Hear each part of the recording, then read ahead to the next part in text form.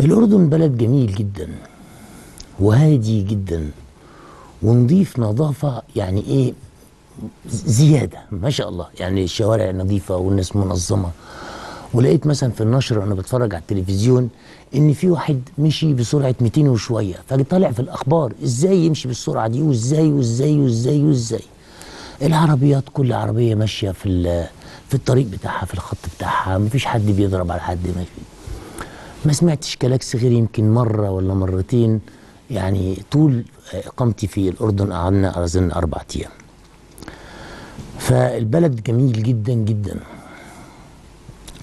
من زمان أنا نفسي في هذه الزيارة. نفسي جدا أروح الأردن. أنا رحت قبل كده ورحت بعض الأماكن فيها لكن كان نفسي أشوف حاجات معينة.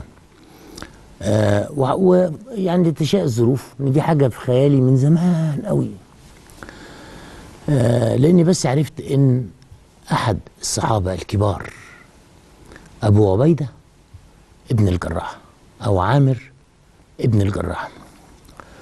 آه، ده أحد الصحابة الكبار وده أحد العشره المبشرين بالجنة وده كمان اللي عمل حاجة مش معقولة.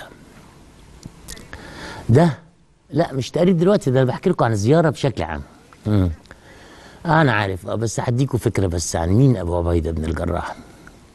هحكي لكم حكايتين اتنين بس. في غزوة أحد لما حصل اللي حصل في آخر الغزوة ونزلوا من على الجبل ودخل خالد بن الوليد كان لسه ما أسلمش من ورا وأنتوا عارفين التفاصيل دي كلها.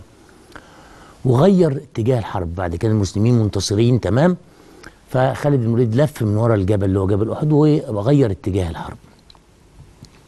فحصلت دربكة وأشيع أن النبي استشهد. فبدأوا ناس كتير ينسحبوا. قليلين اللي فضلوا عينيهم على النبي عليه الصلاة والسلام. في امرأة هبقى أحكي لكم عنها يمكن اتكلمنا عنها مرة بس أحكي لكم عنها بالتفصيل. أظن اسمها خولة حاجة بس هم أحكي لكم عنها بالتفصيل لأن مراتي خلينا في أبو عبيدة. إنه أبو بكر الصديق بص كده لقى واحد تقريبا طاير. فاكتشف إنه أبو عبيدة. فدخل كان في سهم دخل في خد النبي كده كده. فشال. ده بسنانه السنة دي كسرت وشال دي السنة دي اتكسرت فبقى أهتم. ده أمين الأمة. ده اللي لما عمر بن الخطاب استشهد ضرب بالخنجر. وقعد يومين تقريبا على ما انتقل. فقالوا له وصي زي ما أبو بكر الصديق وصى بعمر. فقال لهم من وقد مات أبو عبيدة. بحكي التقرير. ما لسه مش هنذيعه النهارده ولا بكرة يعني. من وقد مات أبو عبيدة؟ مات في الشام. حكايته عظيمة جدا. فكان نفسي أروح الاردن عشان أشاهد أو يعني أقترب من مرقد هذا الفارس العظيم. فالزيارة جت بقى ونصيبها إنه أنا أروح وحضراتكم تيجوا معايا وتشوفوا هذه ال- الأماكن البديعة. أماكن فيها روحانيات كبيرة جدا وفيها صدق المشاهد اللي فيها مشاهد حقيقية.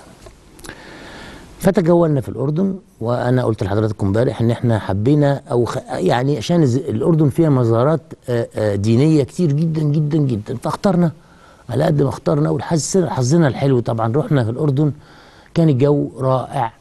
أول جو يمر على الأردن من حوالي 30 سنة بالحرارة دي. وإحنا كنا بنصور في البحر الميت اللي هو أعمق نقطة في العالم كله. أعمق نقطة فيها أرض في العالم كله في البحر الميت. تبقى درجه الحراره تبقى عالية جدا. لكن والله ما حسينا بأي حاجة غير إن إحنا استمتعنا بالزيارة دي. وأنا بشكر كل اللي ساعدونا في الأردن وابتسامتهم الجميلة ويا سيدي وعلى راسي والكلام الحلو بتاعهم آه ومقابلتهم الحلوة ومعاملتهم الحلوة لكل الناس.